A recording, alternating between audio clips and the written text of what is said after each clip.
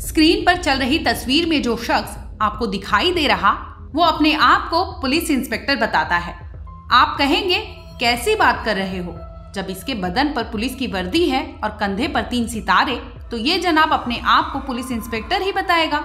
लेकिन माफ़ करिएगा, यहाँ आप थोड़ा धोखा खा गए।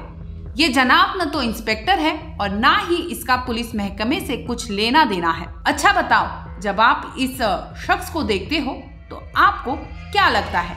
इन जनाब की रोजी रोटी क्या होगी? आप में से बहुत लोगों ने पता लगा लिया होगा और काफ़ी अभी भी संशय में पड़े होंगे। चलो आपके असमंजस को दूर करते हैं।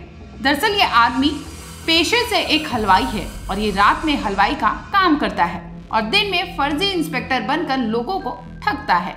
इन जनाब का नाम है लक्ष्मी नारायण। ये जनाब पिछले एक महीने से पुलिस की वर्दी पहनकर लोगों को बेवकूफ़ बना रहे।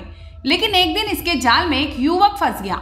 इसने मनोज नाम के शख्स को विश्वास दिलाया कि ये उसकी दिल्ली पुलिस मुख्यालय में कैंटीन का टेंडर दिला देगा, जिसके बहाने लक्ष्मी नारायण ने मनोज से लाखों रुपए वसूल लिए।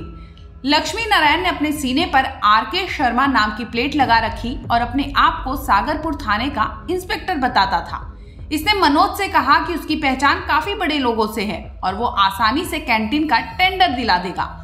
लाखों रुपए देने के बाद मनोज को कोई पॉजिटिव रिस्पांस नहीं मिला।